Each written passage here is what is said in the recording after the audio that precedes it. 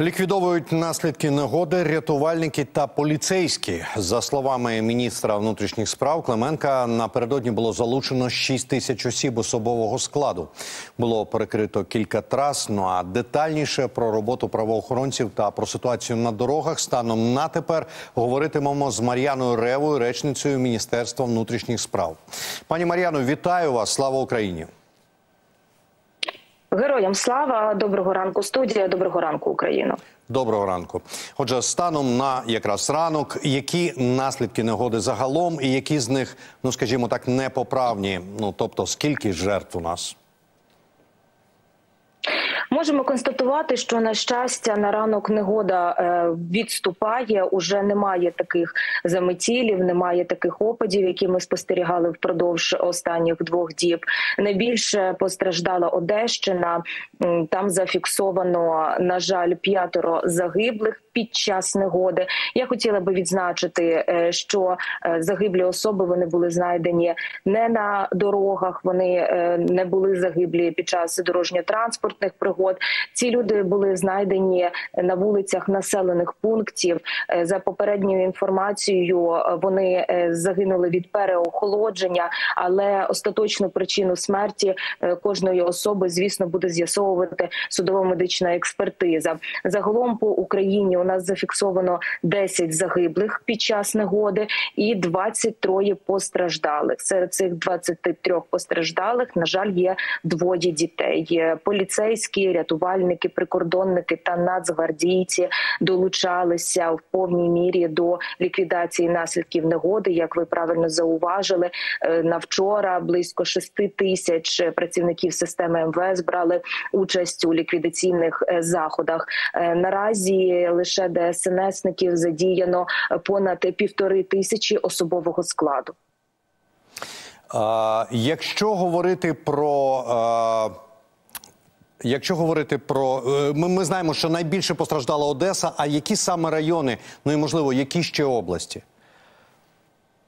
Ну, це власне північ е, Одеси е, найбільше постраждала, і е, це власне саме місто Одеса також зазнало негоди. І як ми знаємо, Кіровоградська область і Миколаївська область також отримали свою порцію снігу. Там снігові замети сягали і двох метрів в у висоту, і всюди працювали працівники системи МВС. Сюди працювали рятувальники. Вони надавали допомогу людям. Крім того, хотіли б нагадати, що станом на вчора понад дві тисячі населених пунктів були знеструмлені. Зараз ця цифра складає трохи більше 400 населених пунктів. Тобто е, прекрасно працюють і енергетики, відновлюють е, енергопостачання у домівки наших е, громадян.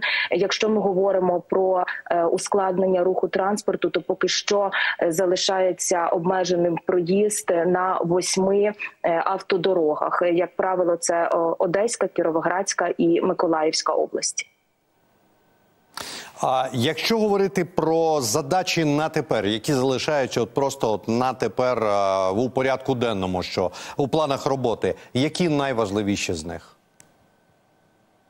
Звісно, найважливіші це е, допомога населенню, оперативне реагування на всі виклики. Це організація дорожнього руху е, у на Одещині, на Миколаївщині організовано е, проїзд автотрасами в реверсному режимі. Працює патрульна поліція на вулицях. Перепрошую на дорогах.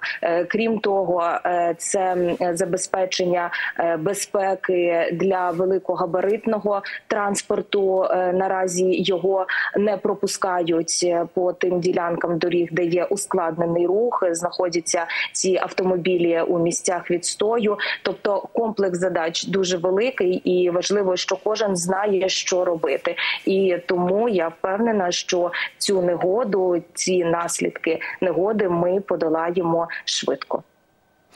На щастя, негода потроху відступає, і в наступній навіть годині ми будемо говорити з Сонтикиною про це. Але війна поки що не завершується. То я хочу вас запитати, пані Мар'яно, чи ускладнив ворог ситуацію зі стихією?